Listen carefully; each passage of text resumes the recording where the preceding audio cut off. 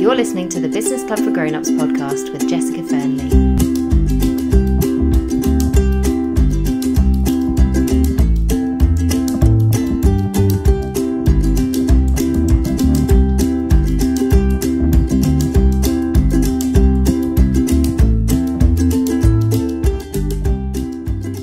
Hi, everyone, and welcome to this week's episode of the Business Club for Grown Ups podcast with me, Jessica Fearnley. We're drawing to the end of the summer at the moment, and maybe it's the project manager in me. I'm, I'm fairly sure I have that in my DNA somewhere.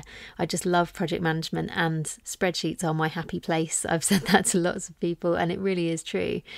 But it really feels like a brilliant time to just take stock and reflect back on what I've been doing this summer, what's worked, what hasn't, in project management, we call this lessons learned. And in my Prince two days, we would always do a lessons learned log at the end of a project, or even just going through the project, we'd fill it out and just document all the time what had gone wrong, the learning points we were taking forward, those kinds of things. And it's it's something that I've brought with me into my business and something that I recommend to all my clients because it can just be such a helpful way to take stock of things and make sure that okay, so you might make a mistake, but you won't make the same mistake twice.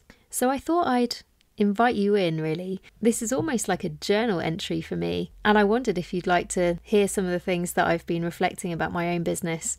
And maybe that'll help you as you reflect on your own businesses, whether it's coming to the end of the summer and just taking stock of where you are and where you want to be. Or even if you're listening to this episode further into the future, it can be such a helpful thing just to take stock and to really get your head into what's going on in your business, what's gone really well.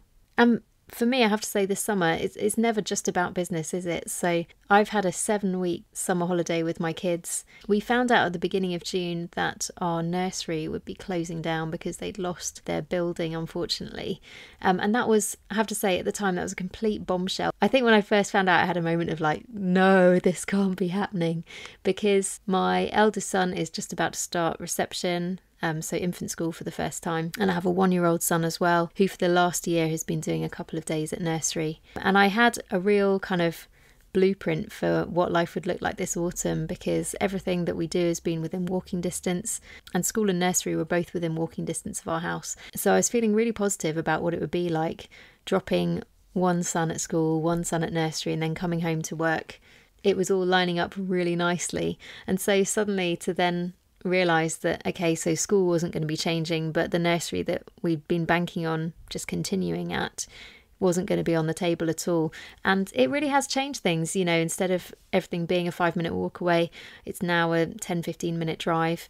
And we're just working out the impact of traffic on that now that schools are starting back and all that kind of thing. My routine has gone very much from being almost exactly what I would choose to being a lot more out of my control. And certainly, I wasn't necessarily planning to have the kids in nursery for the whole summer, but I wasn't planning to have them at home for the entire summer either. So suddenly finding out that I'm going to be spending seven weeks looking after them, it's all been something I've had to really get my head around at quite short notice. And so, having gone through the summer in the way that I have, here's my learning points really. Here, here are the things that I'm taking away that I'm reflecting on, which I wonder if you'll also be able to relate to. So, first of all, I've realised that I just really need childcare. I haven't worked full time in my business since I started. I've always worked part time hours and I've had varying degrees of childcare during that time. So sometimes I've had three days a week, sometimes I've had one day a week. Whatever I've had, I've always tried to make it flexible. I've always tried to work the business around what I'm doing. But this summer, I have really, really noticed the gear change that I've gone through. So literally, I've gone from having two working days in the week where the kids are not at home to having zero and doing days where I'll be with the kids all day and then suddenly I'm trying to do a working day in the evening and I've just found it so incredibly tiring. I've been more tired this summer than I think I can remember being since probably the kids were absolutely tiny. And just the slowdown that I've experienced in sort of remembering things and planning things and keeping on track with the things that I said I was going to be doing, that has just kind of all gone out of the window. And I'm comfortable with that. I'm not bothered by that. I like my business to fit around my life outside work and particularly my family responsibilities. But it has really struck me how much harder I found it to concentrate, how much harder I found it to finish things. Because actually, when you're working late into the evening, you know that you could stay up a few more hours and get it finished, but the cost of that will be you still have to start the day at 6:30 tomorrow morning and the kids are going to be fully charged having had a good night's sleep. So the cumulative effect of that, just working late every evening, that has hit me like a ton of bricks this summer. but I think that's something that I needed to experience because it's made me a lot more resolute about evening working generally. I do have working days available to me in the week, and I won't actually have to work evenings from September onwards. And it's made me realise how much. If I'm doing childcare all day and then working all evening, there's just no space for any interests that I might have, for just keeping the house under control. There are just so many things that I haven't even noticed I haven't done and it's like seven degrees of chaos downstairs sometimes. So I really feel like I'm going into the autumn just a lot more resolute about not working evenings in a way that I haven't really been before. I'm usually quite relaxed about that. And sometimes if there's things that I just want to get finished, I'd rather work the evening and know that it's done. But actually, I really want to challenge myself to do things a bit differently in the business going forward and make sure that I'm getting the bulk of my work done during the day when the kids are at school and at nursery. And actually, work doesn't take up my evenings in the same way. So that's my first reflection. I think I just really need childcare in order to be able to do my business in the way that I want to do it. I don't enjoy this feeling of being stretched really thin. I don't enjoy feeling like the household is falling apart around me because I'm just not aware of whether I've done meal planning and food shopping and things like that, and everything is hand to mouth and everything is a bit chaotic. I'd like to get back to being a little bit more organised around the house. I think the second thing is I've noticed how much I really love my business and how much I love having time to work on my business.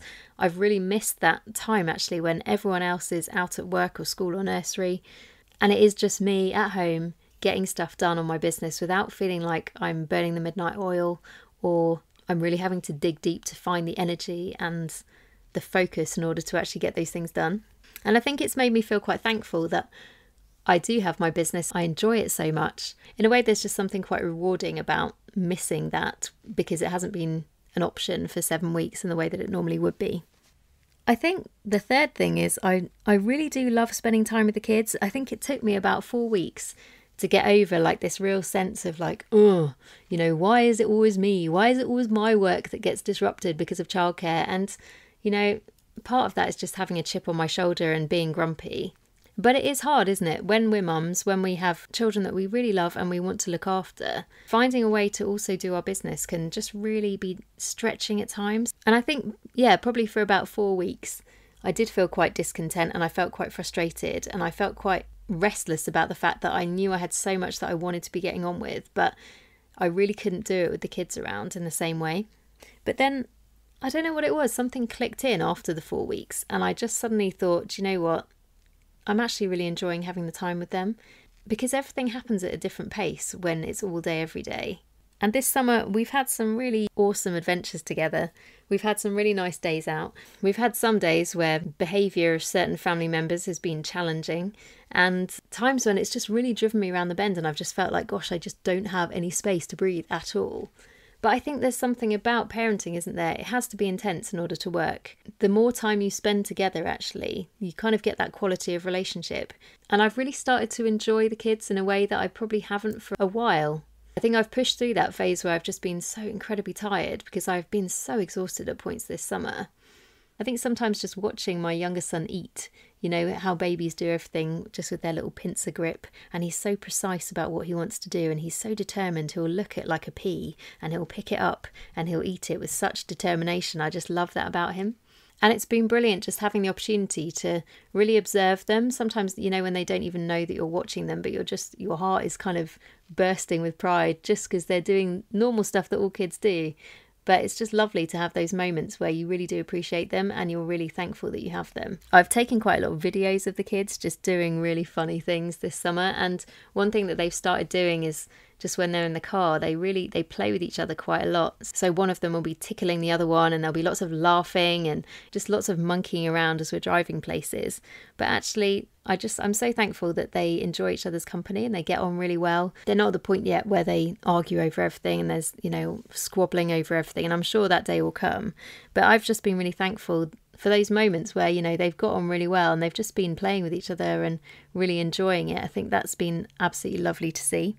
But also, stuff just happens during the course of the day, doesn't it, sometimes? And literally two days ago, one of my cats brought in a live dragonfly from the garden, which was just an enormous dragonfly. And I was glad that it wasn't dead actually, because it's awful when cats just kill everything in the garden.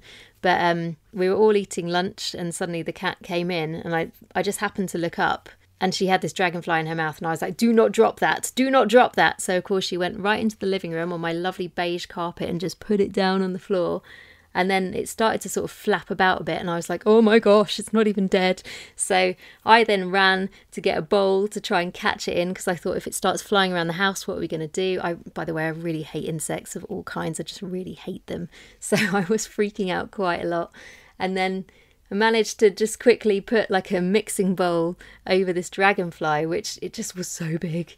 And then it's trying to fly out of the mixing bowl, but it can't quite get it, so it just keeps banging against the side of it. And oh my goodness, I was so glad that my husband was coming back. He is totally in charge of dealing with insects and all things of that kind because I just really can't cope with it. But my son just thought it was the funniest thing. Firstly, that I was freaking out as much as I was, um, but also he was like, "There's this enormous dragonfly trapped in a bowl in the living room," and it's become like you know a real thing that I will certainly remember for a very long time. He's told most people that we've seen seen this week that it happens. And you just think, actually, these are the things that you really gain when you're around and you have that time with them. I don't know, I'm not feeling super emotional about him starting school. I think that he's really ready for that extra step of independence. So I don't know, maybe it'll all hit me on Monday when we take him, but I I feel really excited about him starting school, but it's nice to be able to treasure these moments because everyone says, oh, you know, once they start school, it's never the same. And, and I just think, oh, don't be so negative. It's going to be fine. It's going to be really good. But yeah, I'm just really thankful that we have had time this summer to make memories and that I've had that opportunity to really enjoy time with the kids, almost without work being there to get in the way. The fourth thing is really that just sometimes you can't plan for stuff. You know, like I said, I didn't expect that nursery wouldn't be an option this summer, but you have to roll with the punches, don't you, and do the best that you can. I had a big debate in my mind about whether I should get my eldest son enrolled in a summer camp, like maybe a sports camp or something like that, because he's only four. And my, my sort of gut instinct was that he might find the separation a bit much and if he didn't know anyone there it just it might be a bit too much for him. He's quite a sensitive boy and i wanted to make sure that he had a good summer and that he felt really confident going into september rather than just feeling like everything over the summer had been a bit too stressful. But then actually what i started to notice was that i think the lack of routine because we did lots of fun things but we didn't do the same thing every day and it's so important, isn't it, to know your kids and know how they're doing and what they'll respond well to. But you, you can't always know in advance whether something is going to be the right thing. So I started to notice he was acting up quite a lot. He was pushing the boundaries just constantly. And I think it was just because he was having a hard time getting his head around the fact that there was no routine. And I went out for one afternoon and my mum was looking after him. And he was really upset apparently the whole time that I was gone which is not nice to hear as a parent, isn't it? You don't want to feel like they're really unsettled without you. But then I have to say, the benefit of me having gone out just for a few hours one afternoon was that when I came back, his behaviour was so much better. And I actually just thought, you know, I probably should have gone for the summer camp because I think he would have handled it a lot better than I gave him credit for. But it's just so hard to know these things. And I think similarly with my business, I didn't really have much of a game plan for the summer. I just assumed I'd be able to get everything done that I normally do. I wasn't really sure how it would happen, but I just thought, well, if I work a few evenings. And there were some bumps in the road. Some things that were planned in fell through, and it meant that there was some running around to do to just make sure that deadlines were met in the way that they needed to be. And I guess, yeah, my question to myself was like, could I have done anything differently to handle that better? But sometimes you just can't know what life is going to throw at you or what your business is going to throw at you. Things can be agreed verbally and then they just don't go ahead the way you think they will. So we always need to be a bit adaptable and we can't always get it 100% right. I guess it's more just thinking, would I do anything differently? And sometimes we just have to do something and then it might end up being the right thing or it might not.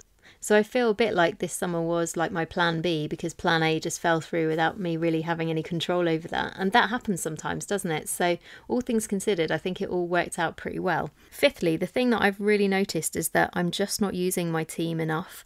I'm not using them for a ton of stuff that for some reason I've held on to. And I think it's having a lot less time available for work this summer. It's really made me notice how much stuff I do myself in my business that I should probably outsource. And definitely, I think if I was going to be without childcare again, I would outsource a load more stuff than I have done. Because actually, it doesn't make sense. If you don't have the time to follow up something, you should get someone else to do it. And I think I feel in my own business, it's not really worth being stressed all the time and just trying to do more than it's physically, humanly possible for a person to do.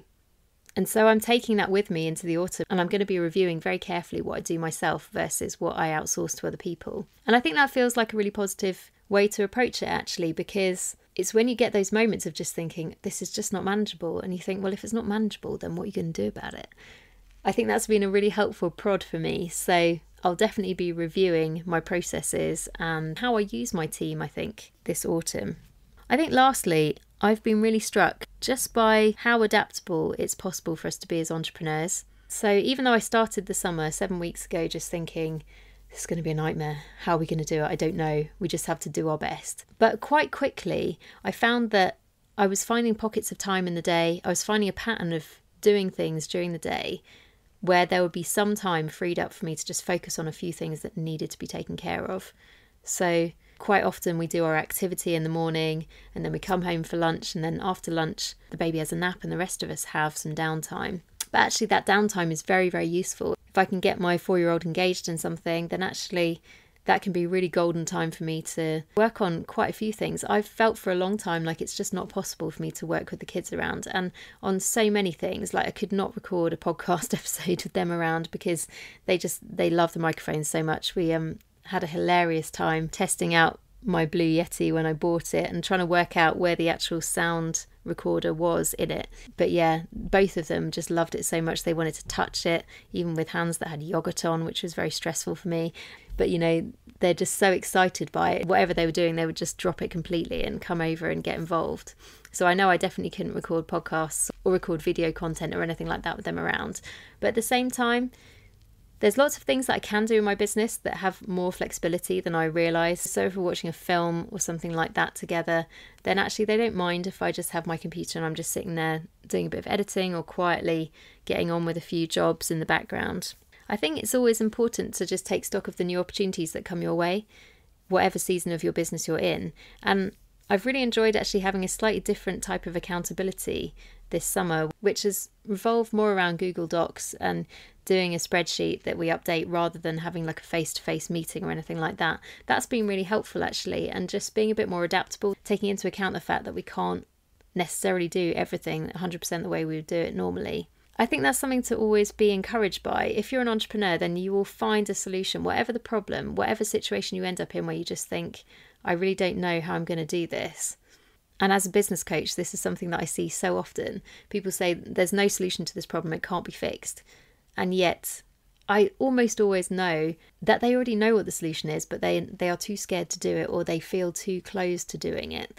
And so as a coach in that situation, your your job is to get people to the point where they can see the opportunity and they can see the resources they have to deal with that opportunity and make the most of it.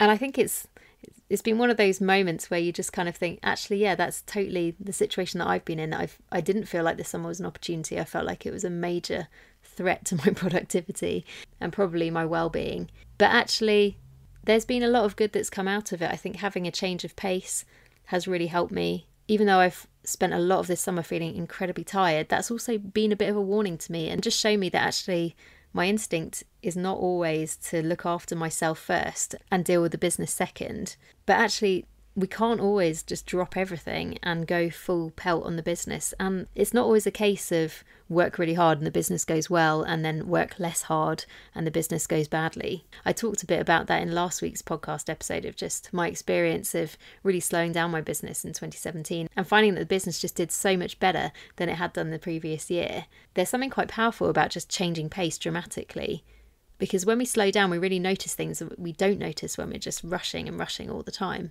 So, those are my reflections, I guess, from this summer and some of the things that I'm taking with me into the autumn. I don't know if that's relatable to you, whether you've spent the summer at home with kids or you haven't really had to change what you do in a dramatic way. For some of us, the summer can just be quite a sort of dead period of everyone else disappears and so we lose a bit of that momentum just because of our audience really more than the constraints that we have personally but i think whether you've had a busier than usual summer or just a very quiet summer, it's always important to just take stock of what's been going on and how you want to do things going forward. I'm really passionate about that. It doesn't matter if you've had a terrible business year up to this point, there's everything to play for in the autumn. And I'll have more to say about that in a few weeks' time. Watch this space because there's some good things coming. So I hope that's inspired you to do a bit of reflection on your own business and how it's going and what you want your goals to be going forward. I just think time spent asking those questions is never time wasted. It can be so, so helpful in just really digging into the things that you want to achieve. And if you don't already have a business journal, I really recommend that you think about starting it because if you work on your own in your business, or even if you have a team, but you're very much in charge of that team and you're occupying the CEO position in your business, it's so, so helpful to just stay grounded and make sure that your mindset is where it should be. I find it so helpful for just making sure I'm not being held back by a lot of these almost circular thoughts, you know, the ones that just go round and round and you think them again and again. And they can start to be quite controlling and quite limiting. Whereas I find if I just journal these things out, then it can actually be really, really productive in just moving things on and making sure that I'm not telling myself things about my business that aren't helping me to move forward. I hope you've had a really good summer, and I hope you'll join me this autumn for some more podcast episodes that will really help you get your business where you want it to be. Thanks so much for listening, and I'll see you next time. You've been listening to the Business Club for Grown Ups podcast with Jessica Fearnley. To find out more, visit thebusinessclubforgrownups.com.